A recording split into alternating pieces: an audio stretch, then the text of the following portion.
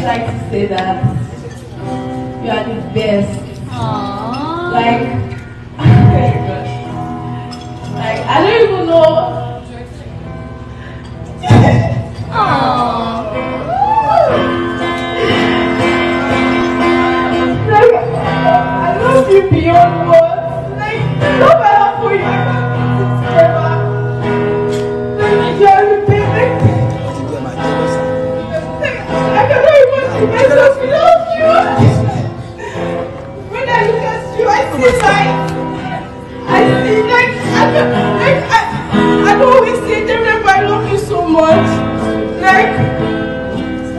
to be very happy, and that's why I always, I'm always happy because I know that if I'm sad, you're sad.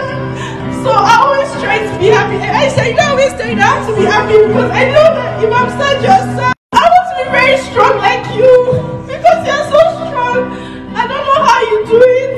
I don't know the kind of strength you have, and I think God just made you special. God made you for a purpose. God made you No, you are special. You don't realize how much you're special. Always, God always makes you shine in the sense that, like, He puts your anybody that hates you right now, person is in trouble because God loves you so much, and like, you are literally Oh wow, that was so emotional. Someone must have been cutting onions in that video because I teared up watching it.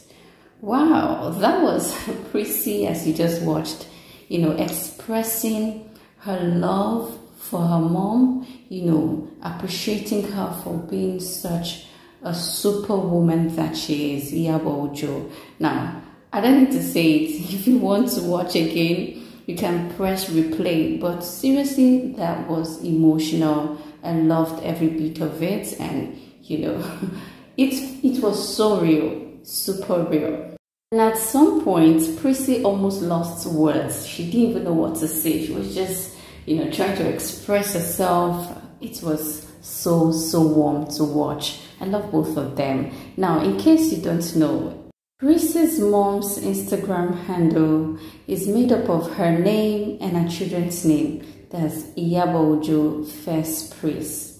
Festus the son and then Priscilla. How many mothers do that or how many fathers, you know, do that? That's so, so beautiful. And she's called the queen mother. She likes to fight for people's right, protect people, especially mothers, you know, children and all of that. So I'm just, you know, in fact, Tanzanians, you are in luck.